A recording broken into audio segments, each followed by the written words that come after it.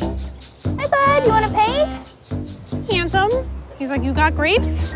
We do. You to Got paint? lots of grapes for you, kid. Madeline, are you gonna come down for this? Today we are gonna do some painting with our red pandas. I simply love painting with them.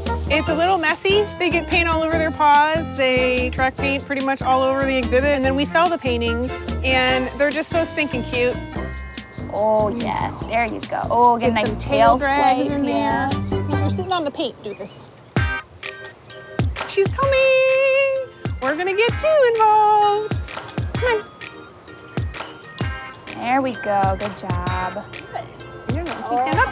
Oh. They're the best. There are moments when I think, do I really do this for a living? Like, is this really what I do? Yeah, it totally is.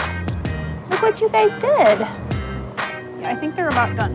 And so glad you guys were hungry today. Just get a canvas and just press it.